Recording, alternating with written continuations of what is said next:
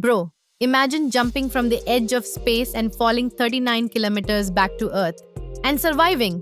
Sounds impossible, right? But this actually happened. In 2012, a man named Felix Baumgartner jumped from a balloon capsule floating 39,000 meters above the Earth.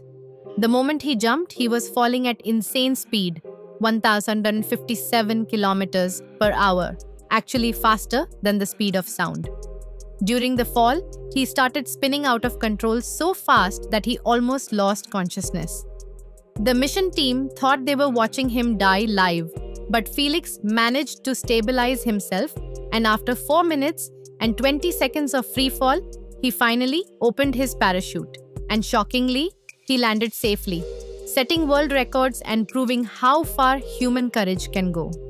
So, next time you feel scared of small challenges, remember a man literally fell from space and survived.